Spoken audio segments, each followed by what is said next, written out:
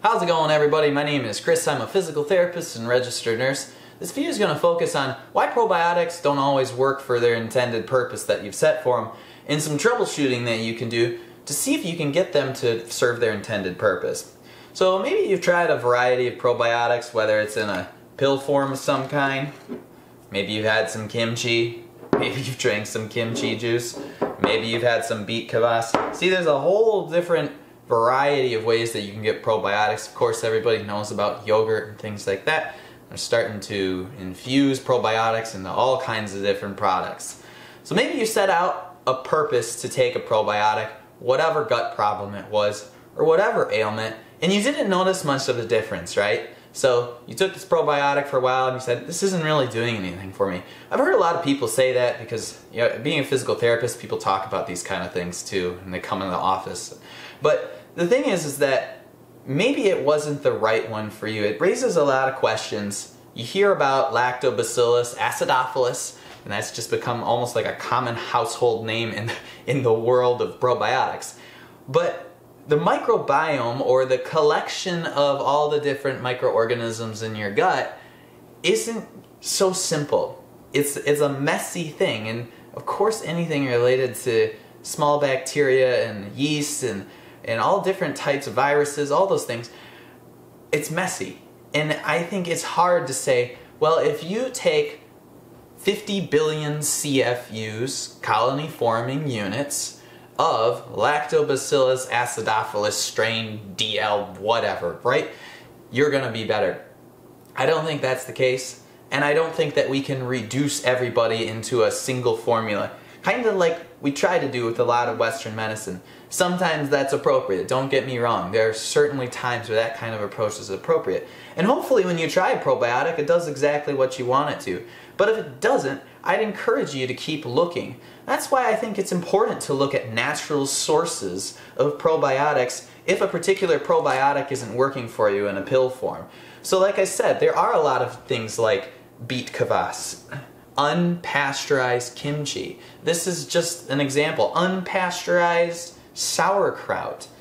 These are, these are different forms of probiotics, kimchi juice.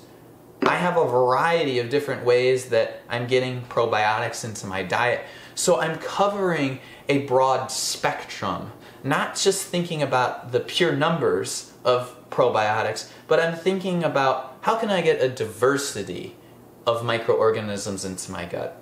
Another reason that probiotics don't seem to do what they're meant to do for people is they're transient. Most of the research is showing that they may have a positive effect as they're going through you, but commercial probiotics in general, in a pill form, don't have spores to implant in the gut wall. So we don't have a way to make them permanent as of now. So getting natural forms of probiotics in your diet is a great way to make that more permanent.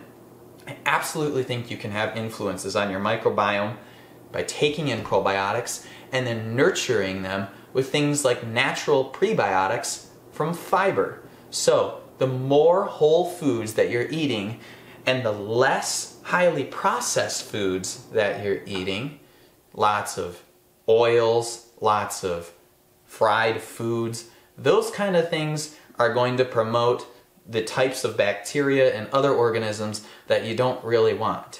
Whereas if you're eating whole foods, it will feed some of these bacteria that would be more beneficial to your health. So diet plays a large role in the success of probiotics in the long term and your microbiome. Supplements in general are poorly regulated and poorly controlled. So you want to find a reputable company that sells a product that you know is good. Now there's different ways that you can assess these kind of things. One of the ways that I look at the quality of products is do they have GMP status, good manufacturing practices. Now that doesn't always ensure that they're doing exactly what they should in terms of quality, but it's a step in the right direction, right?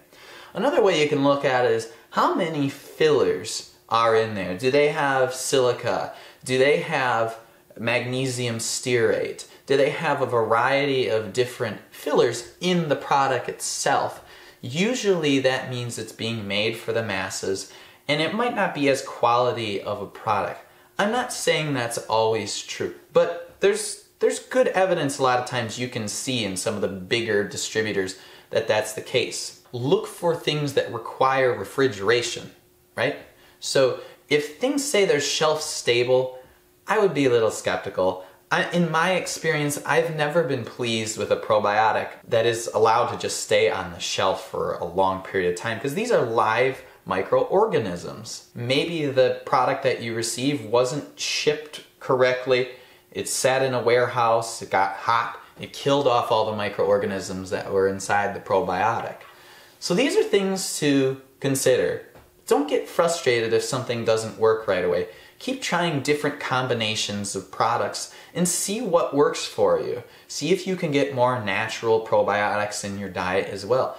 I hope this was helpful guys. My mission with this channel is to help people get more tools in their toolbox so they can thrive with any health circumstance. If those are the kind of videos that you like, go ahead and subscribe and comment below on the types of things that would be helpful to help you thrive in your own life. Thanks a lot and hope to see you soon.